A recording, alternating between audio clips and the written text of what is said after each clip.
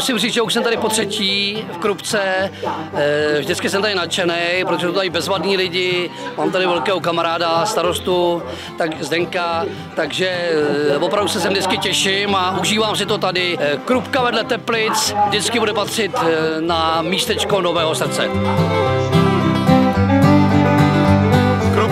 Fantastická. Měl jsem trošku podezření o zdejších lidech, jsem si myslel svoje, pač je Janka Mašlíková, ale seznal jsem, že všichni, jak jste tady všichni normální, takže, takže se mi tady líbí. Máte moc hezkou trávu, moc se mi líbí váš skatepark, zrovna budu, že podí skatepark a máte výborný fotbalisty, musím říct. Až na Mašlíkovou super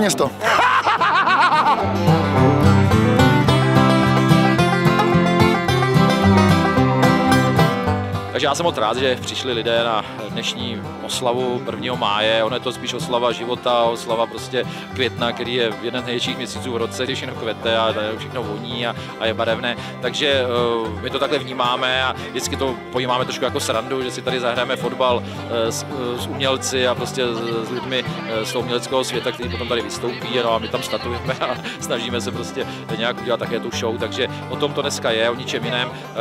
A jsem rád, že lidé přišli i přes trošku malou nepříjem počasí. Nicméně jsme v pohodě všichni a uh, to je to hlavní.